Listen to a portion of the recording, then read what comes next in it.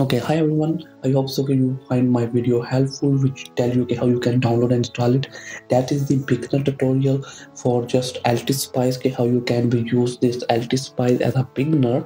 So um, that is uh, the main features are in this row.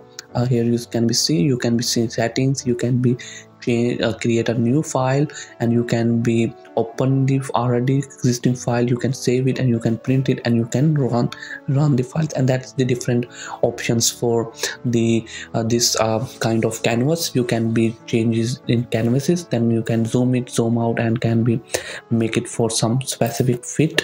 So in that way that canvas is used uh, you want that's the option and that is the option of the analysis when you analyzing it and that is the option of the components and choosing. You can be choose the components wire that is the wiring option. So you can be choose the component from here and that is the options of uh, duplicating the mode moving the modes and this kind of thing and then you can be rotate it then you undo and redo and then you can search anything. Now we start with the simplest circuit. Now, in the circuit we just be create a one volt uh, dc voltage with we use the one resistor and inductor and capacitor okay? That is the rlc circuit okay? I think so you can maybe understand. And then we choose a wiring and now i wire everything here okay? Wait a second it's quite simple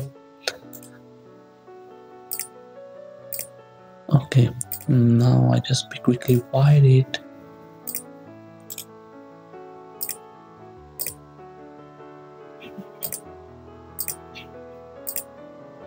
now after the wiring we just be change the component value like a dc value. So i just will put the 5 volt here okay. Now resistance value uh, that is the resistance value i need to be put here. So i just be say 100 uh, ohm resistor okay. And that is the inductor value and i just be say uh, 1 millihenry inductor okay. And capacitor we say that um, that is the 100 um, 100 uh, pico capacitor and voltage rating rms and these kind of different parameters. If you want some kind of specific capacitor then you can be choose it okay? Now that is the things on now we just be click on this run button and we see the stop time. So i just be say that 100 millisecond. It's my stop time. And I just want the transient analysis. If you want AC analysis that is the option. DC sweep noise DC transfer DC opt transmission frequency responses check so that is the different analysis options okay? You can be choose according to your demand. And that is the different uh, options. So it's depend on your project and on your lab okay? So I just be simplest doing the transient we just be telling the stop time and doing me uh, check the other options and then click on OK. Cannot find the dimension model of the R okay? So i forget to replace the ground. So that is the error. That's why not um, able to be run it. So i just replace the ground. Ground is like a reference okay? So i just place it and now we run it and now you see this circuit is in the running condition. That is the running condition of the circuit. And uh, how can we analyze it? So okay that is like the five uh, okay 5 volt. Uh, no that that's not like a 5 1 um, that's like kiloampere okay that's measuring the current okay? So if you click on here if you click on the device like the component then they measure the current okay? If you click on the uh, on the node um, on the terminal point of any kind of uh, component then they measure the voltage and that's the 5 volt okay?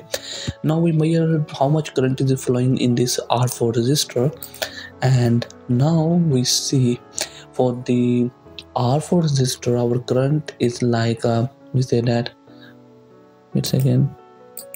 Okay yeah. Our current is the 15 milliampere it's flowing in the resistor. How much current is flowing in the inductor uh, it is the again i click on it. It is the 5.0 k ampere kiloampere and how much in there on the capacitor.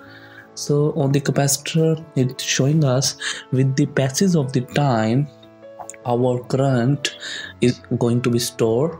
You see this? Our current is going to be stored and how much current is stored? It's 100 within the 100 millisecond that current uh, it is distorted and they're not terminal. Okay maybe that's kind of something nonsense we don't be select the values. That's why that's happening but this is showing okay in reverse traction our current is stored okay? Uh, now we choose something voltages okay that is the voltage on there no that's our parallel so voltage is same only the current are varying so that's why i just check the current. So in that way you can be analyze the transient analysis dc sweep any kind of analysis you can want but for this thing you need um, the clear idea of your component values uh, the parameters on which you want to be test that component and also the connections. So i just will show you something more interested. Um, uh, it's like the uh, if you want to be component placement that is the component library. So here you can be use it to be placing the components. Uh, adc that is like the uh, you have the analog devices. Okay you click on there then you go back. And if you want some kind of operation amplifiers then uh, these are the library for operation amplifier. And that in that way you just choose it and place it. Um, and that is the component. Again i go and you you see this one brackets and three dots. So just click on it and you can be go behind. Okay that's main one. So in the one if you want led so that's the like for led and i just replace the led here. Okay so and in that way you can be use it. Okay now we can be wired the led with our circuit and we observe if we place the led in parallel direction um, with this rlc circuits and what's happening. Um, that's just like the basic things. Mm, okay. Uh, which click okay so it's like uh, 3.5721 t okay. okay something is nonsense is happening there because uh, we just be implementing the basics uh, how you can be use it. Okay so that's like the label of net. If you want to be label something which is ground which is input which is output you can be use it okay? Uh, just for making your diagram more convenience and more understandable okay? Spice directive and then you can be delete the mode and you can duplicate the modes and you can be use it. So duplication means like that okay? I duplicate it okay? So if i want to be deleted then just click on it and that's component is only deleted. And that's like the moving the component. I just click on it and now that is movable okay? I move it from the circuit. And that's undo okay in that way i can be undo and in that way i can be it so i hope so you find this uh, tutorial helpful. That is a totally beginner tutorial. And um, if you find this video interested please like this video and subscribe it. And i hope so if you find my channel helpful. Please subscribe it share with your friend which want this kind of videos. And don't forget to be comment any kind of appreciation if you want. So see you in the next video